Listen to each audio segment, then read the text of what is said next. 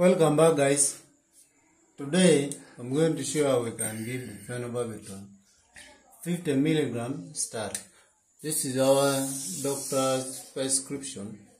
So phenobarbital is in ampules. It is in ampules. Hmm? So one ampule is equal to is having 200 milligram of phenobarbital in 2 mils. So let me show you how this. So this is our phenobarbital. This is phenobarbital in 2 mils as you can see so what we are going to do we'll first going to dilute this drug.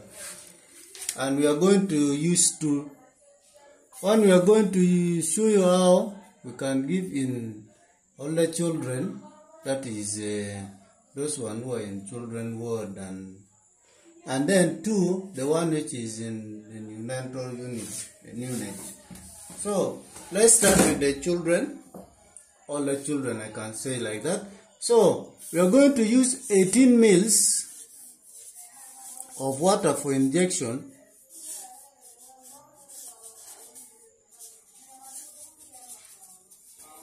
Or normal saline and then we are going to add these 2 mils of phenobarbital barbital so our diluents will become 20 mils in this case. So doctor has prescribed 50. Remember? So what we are going to do, we are going to say it 50 divided by 200 milligram times 20. So this one because this, this and this. This time this is equal to 10 and divide by 2 isn't? So our base is equal to 5 mils we are going to aspirate 5 mils and we give to this person. This is a older child. And it have been given to start and if the child is convulsing you can give that one. So let's go to the neonatal unit how they give it so in another unit, they first dilute. They use 8 mils of water for injection.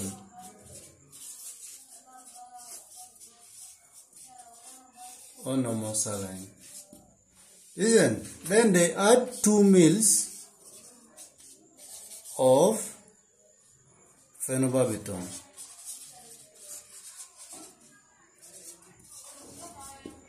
So the diluents will become 10, 10 mils, isn't So doctor has prescribed 50.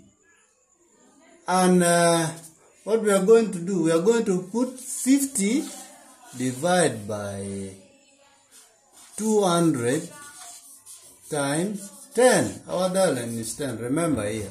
So this one goes like that.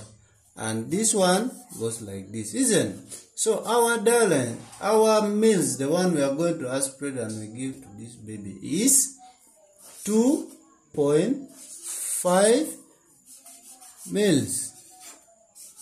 So that is all how we can give phenobarbital in both neonates and older children.